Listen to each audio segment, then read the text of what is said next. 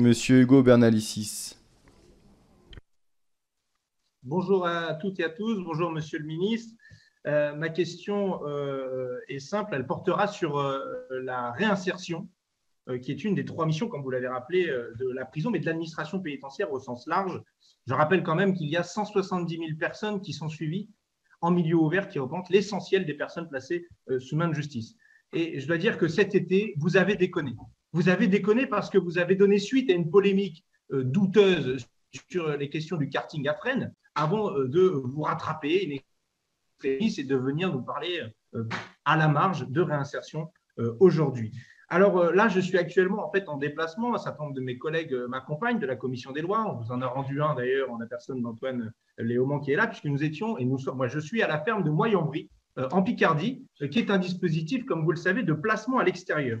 Alors, on parle du tige, on parle de tout un tas de mesures, du bracelet électronique, mais jamais du placement à l'extérieur. Pourtant, c'est une mesure euh, qui est sans doute la plus adaptée à des profils qui sont parfois euh, récidivistes, plus lourds, sortant de prison.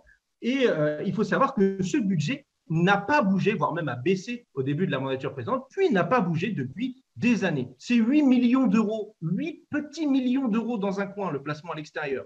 Est-ce que, au milieu de vos arbitrages mirifiques, extravagants, vous pourriez, par exemple, passer à 16 millions d'euros, de sorte à ce que le prix de journée qui est versé aux associations, aux structures type ferme de Moyen-Brie, ne soit pas uniquement de 35 euros jour, contre 120 euros pour la prison quand même, quand on enferme, mais passer à 50 euros, ce qui serait à mon avis raisonnable pour des mesures qui fonctionnent. Et puis je terminerai en disant que la valorisation de l'insertion comme filière en tant que telle, ça passe aussi par la valorisation du statut des directeurs pénitentiaires d'insertion et de probation.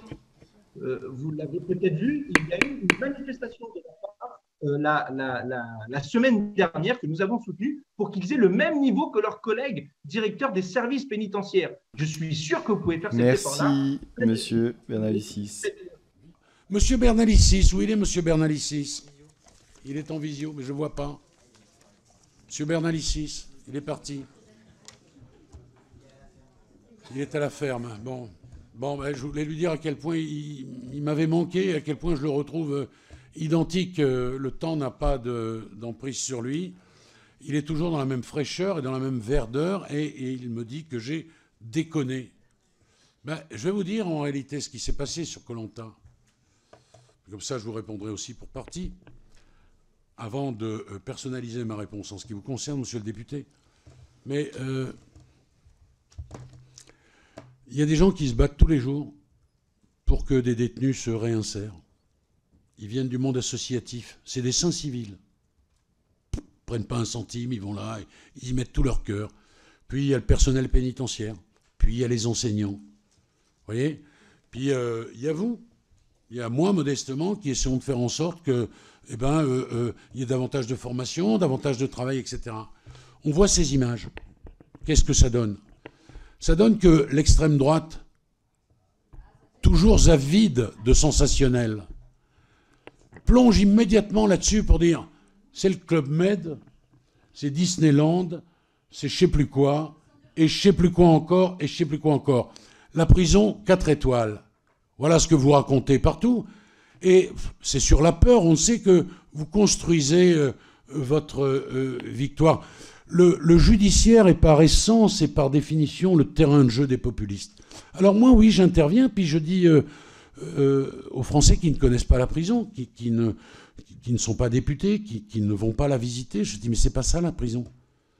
Et je ne vois dans les images ni punition, ni réinsertion. Je répète, ni punition, ni réinsertion. Et ça me gêne. Et je l'ai exprimé.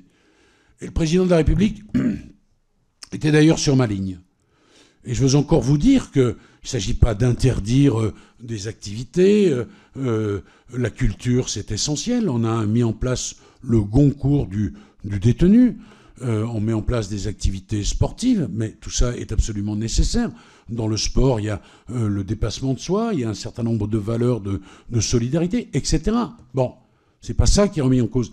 Ces images sont, à mon avis, délétères. Et puis, les plus jeunes qui regardent ça, j'ai dit tout à l'heure, ben, ils disent c'est ça la prison Mais non, c'est pas ça la prison. Et d'ailleurs, j'ai remercié euh, une chaîne de télévision d'avoir, après ces images, diffusé les vraies images de ce qu'était French. Je veux d'ailleurs vous dire que dans grâce au budget que, que, nous allons, grâce à vous, obtenir, eh bien, nous allons attaquer la rénovation de Fresnes, qui est un lieu indigne. Voilà. Monsieur Bernalicis, je n'ai pas déconné, il vous plaît de le dire, mais je pense euh, avoir été euh, clair et complet sur ce que j'ai ressenti à ce moment-là et, sur les besoins que j'avais d'exprimer les choses. Sur le statut des emplois de directeur des services d'insertion et de probation, il y a un sujet parce que la situation indiciaire, M. Bernalicis, vous devez le savoir, ne correspond pas à la situation hiérarchique.